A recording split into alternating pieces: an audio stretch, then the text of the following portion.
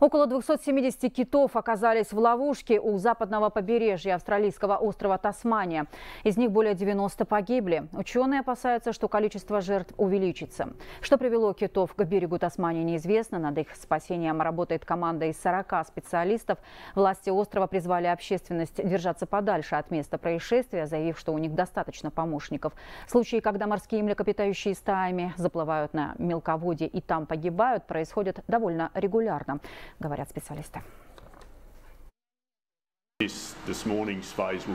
Мы хотим вывести несколько китов с мели в более глубокие воды и оценить их поведение. Так что вся эта операция во многом зависит от того, как отреагируют млекопитающие, когда под ними окажется больше воды, и они смогут свободно плавать. Это поможет нам определить, куда мы дальше их направим.